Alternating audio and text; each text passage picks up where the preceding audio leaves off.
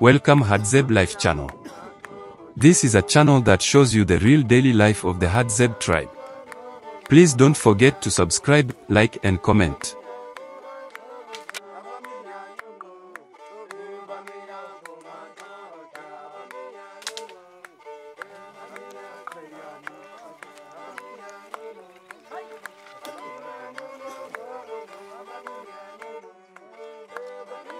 The daily activities of the Hadzabe are gender-based. For instance, males are responsible for hunting with bows and arrows. They use metal arrowheads coated with poison for hunting large mammals such as buffalo and eland. They use non-poison coated arrowheads for hunting small mammals such as antelopes, gazelle, and baboons. They also use arrows made entirely of wood to hunt birds such as guinea fowls, francolins, and pigeons. Hadzabe men go on two types of hunts, short and long distance. Short distance hunts usually occur in the morning and take place within about 5 kilometers, 3 miles, of home. On long distance hunts, the men walk for 3 to 4 days to find big game animals to hunt. When a large animal is killed on a long distance hunt, the animal is smoke dried before it is carried back to the settlement. Women are usually responsible for collecting wild fruits, roots and tubers for food.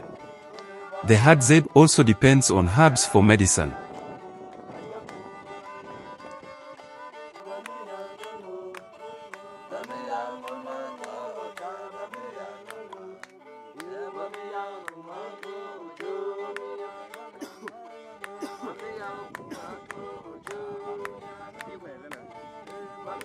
Zeb create fire without the use of matches or lighters. Instead, they rub two pieces of wood together with enough friction to generate enough heat to ignite dry grass, pictured below. The students had a chance to practice this technique during their visit. The students also had the opportunity to use bows and arrows, help dig roots, and participate in a traditional dance.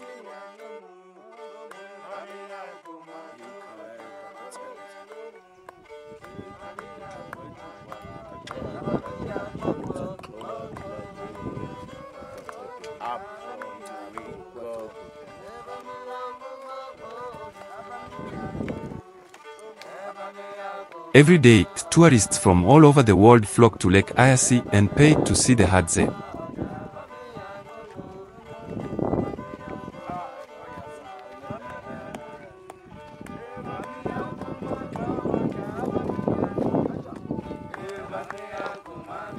With no religious beliefs, the Hadza aren't bound by any particular rituals or any passage of time, such as hours, days, weeks or years. Therefore, they don't celebrate life milestones, such as anniversaries or birthdays.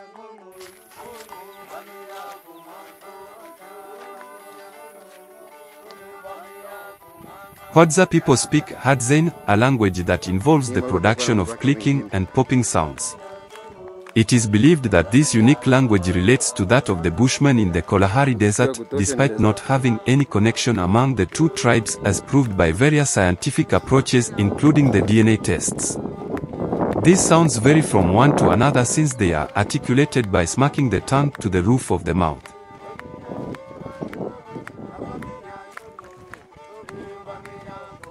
Hadzabe men and women dance and sing after a successful morning hunt.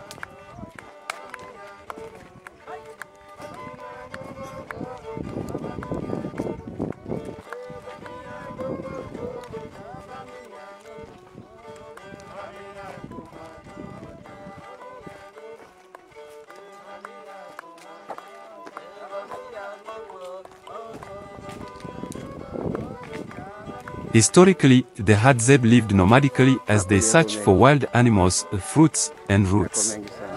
Since cultural tourism started, the Hadzabe have developed semi-permanent settlements to make it easier for tourists to visit them.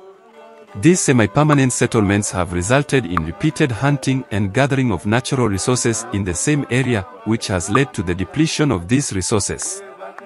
Ecologically, it causes environmental degradation in these areas. This, combined with the recent encroachment of their area by pastoralists and farmers from other tribes, threatens their well-being and survival.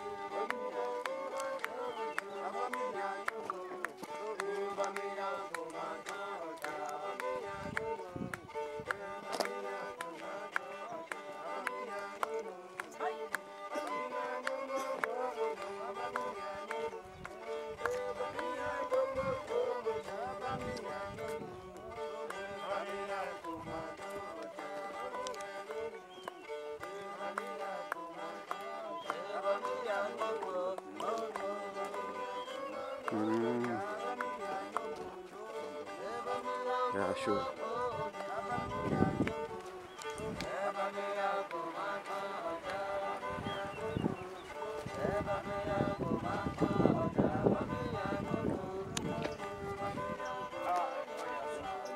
ili kama mnyama akitokea anaweza kumwataki vizuri.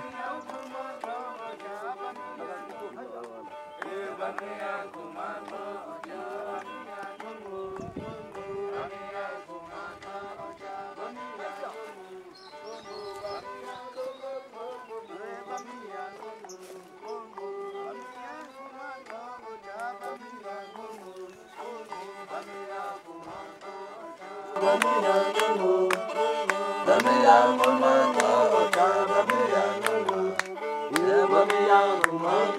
you.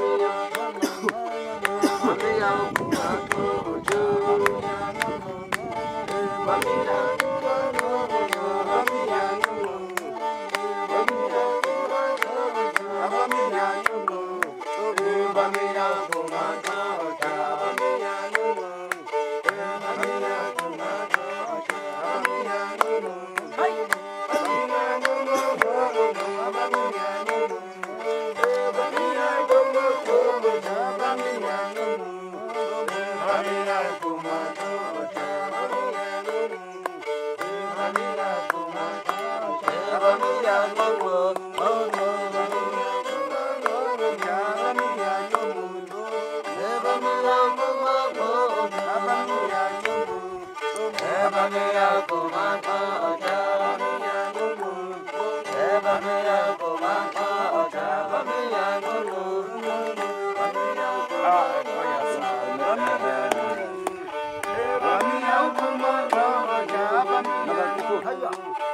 baki aku ojo.